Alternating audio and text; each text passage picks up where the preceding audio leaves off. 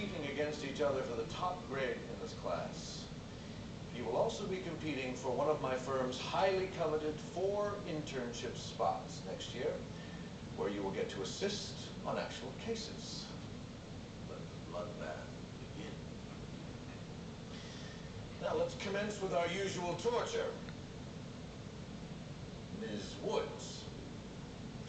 Would you rather have a client who committed a crime malum in se or malum prohibitum?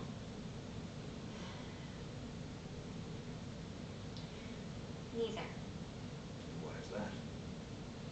I would rather have a client who's innocent.